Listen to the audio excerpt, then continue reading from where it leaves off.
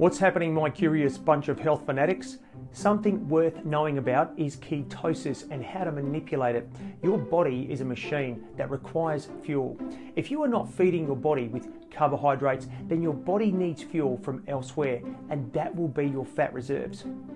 Whilst this sounds good and can be easily achieved by fasting or with calorie restriction or calorie deficits, if you are depriving yourself of carbohydrates and exercising energetically, then your body may start to produce an excessive amount of ketones.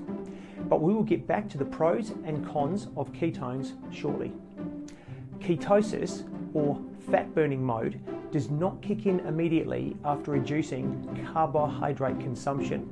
You have to eat very little carbohydrates for a few days, possibly less than 500 grams of low sugar, low carb food per day for three days for the most noticeable fat burning to take effect. Even though 500 grams of low carbohydrate food sounds like a tiny amount, with our modern diets, it is in fact not that low if you eat as nature intended. So, for example, a standard tomato may, may contain 2.4 grams of carbohydrate.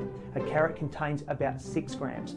As you can see, if you eat the right foods and keep them interesting, you will never go hungry. If you have high levels of ketones in your body, it can cause ketoacidosis. But this is only usually for type 1 and type 2 diabetics to worry about. Nutritional ketosis from dieting and exercise is quite safe, and we have been doing it for millions of years. So, why is this knowledge relevant for your anti aging regime? Well, carrying extra weight not only causes a myriad of health issues and speeds up aging, it increases your risk of disease and dying. So, knowing how to drop those extra pounds and kilos is essential for living a longer, healthier life. Ketosis is different than fasting. However, you can instigate ketosis, or what we like to call fat burning mode, while fasting. For example, let's say you are performing the 5 and 2 fasting diet.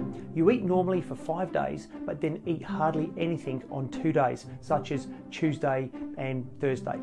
You could easily put yourself into effective ketosis by eating around 3 to 400 grams on Monday, Wednesday, and Friday of low sugar, low calorie foods. This would not only give you the anti aging effect of regeneration, lower blood pressure, etc., but would almost be a slam dunk for your weight loss. If you are inexperienced at dieting, you might find it hard at first, but stick with it. Try one day, then two days, you will end up getting there. Research foods, find ones that fill you up but are low in carbs and calories. Soups are a great start as they are mostly water. Other food ideas could be super low calorie protein shakes with spinach or broccoli. This will fill you up, repair tissues, and deliver amino acids for, for protein synthesis, but it can also keep you in fat burning mode. There are plenty of options that you can choose from. So get literate with what foods are packed with energy and what foods are packed with nutrients, but very little energy at the same time. Learn to read the calorie amounts on every food you eat. Note you can feel tired during ketosis, and this usually means you are in the fat loss zone, so it's a good thing. Your urge to eat may be great, so again, find something that can fill you up with practically zero calories, such as a cup of watery soup or even some popcorn with nothing on it, as those are mostly air. If you are thinking about entering ketosis, have a set of scales and watch how quickly you lose weight over the coming days. Always chat with your doctor first about data you see online, as everybody is different. Smash that thumbs up button as it greatly helps with the YouTube algorithm and remember to subscribe or face the consequences of your actions. Visit me at www.scienceofaging.life and as always, stay young and stay vibrant.